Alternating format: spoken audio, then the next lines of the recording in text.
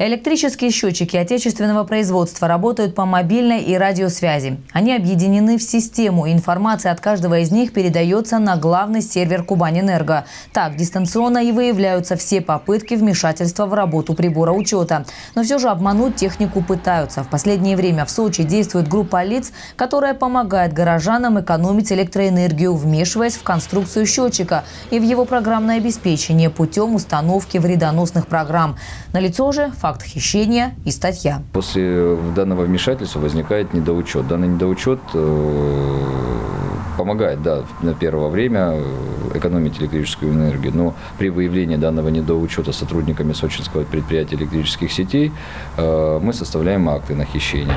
И, соответственно, данный факт ну, наказуем как и административно, так и вплоть до уголовной ответственности. Просто надо понимать, что э, в конце в итоге пострадает не тот э, человек, который это сделал, а потребитель, у которого факт хищения был обнаружен. Сегодня монтаж многофункциональных приборов учета ведется в ЛАО. Всего в Лазаревском районе установят 15 тысяч умных счетчиков. Устанавливают их не как раньше на территории домовладения, а на опоре. Потребителю уже выдается специальный пульт. Не выходя из дома, удаленно нажатием просто кнопочки, данный счетчик по радиоканалу связывается с прибором учета, после чего на дисплее выводятся показания данного счетчика. Потребитель, соответственно, зафиксировал, может производить по ним оплату. Специалисты, участвующие в рейдах по выявлению незаконного потребления энергии, предостерегают сочинцев, что за хищение, помимо прочего, потребителю придется оплачивать и причиненный сетевой компании ущерб.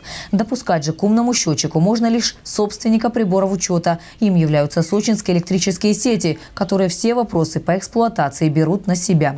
Следующий этап автоматизации намечен в Туапсинском районе. В целом же до 2018 года такие современные счетчики установят во всем городе-курорте Сочи. Не обойдут стороной и многоквартирные дома. Инга Габеша, Ярослав Пархаев, телекомпания «ФКТ».